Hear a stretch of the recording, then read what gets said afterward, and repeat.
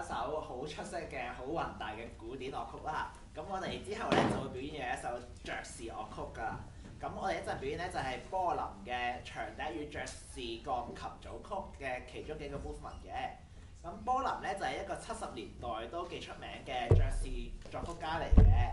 咁佢當然就係出佢當然就係著名嘅編寫爵士樂曲啦。但係今日呢首咧其實就唔係完全爵士嘅，係一首爵士同埋古典嘅混合體。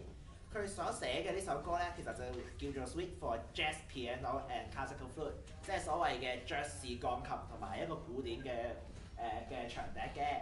咁誒、所以其實咧就係、同時包含咗爵士樂啦同埋古典樂嘅唔同元素嘅。